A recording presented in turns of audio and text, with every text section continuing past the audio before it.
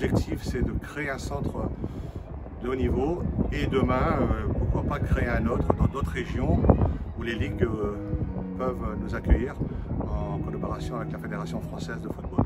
Donc très content en tout cas que ce premier centre ait vu le jour. Euh, premier centre élite en France métropolitaine et domienne, en espérant que demain il y en aura d'autres. le test de sélection du centre élite du Chopper consiste à, bien sûr à recruter des jeunes joueurs de beach, quand même qui ont un potentiel, qui pratiquent déjà le beach soccer depuis pas mal de temps, pour euh, créer un, centre et puis euh, s'entraîner euh, deux fois par semaine toute l'année.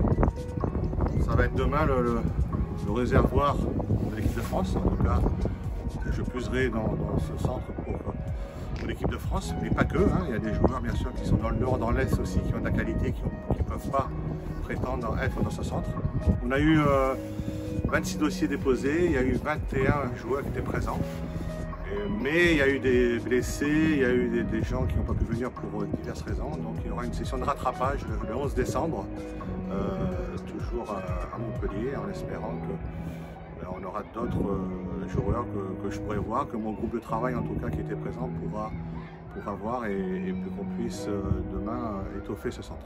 Le CERU c'est un peu, donc c'est un centre d'entraînement régional universitaire avec des, jeunes qui sont à l'université de Montpellier qui ont envie de s'inscrire à, ce concours.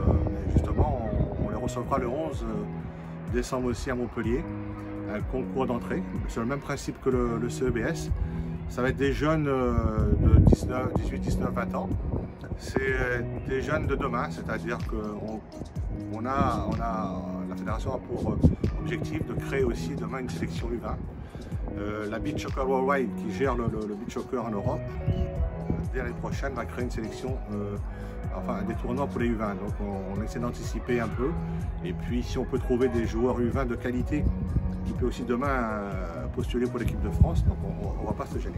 Venu à la Ligue Occitanie, à Montpellier d'ailleurs, que je remercie en tout cas de nous recevoir, pour justement travailler sur la rénovation du, CF Beach Soccer. Ça fait longtemps que ce CF est mis en place. On est là euh, bien sûr pour le faire évoluer avec les nouvelles règles, les nouveaux, systèmes de jeu, les animations de jeu pour que les, clubs, les districts et les ligues puissent travailler sur un nouvel outil.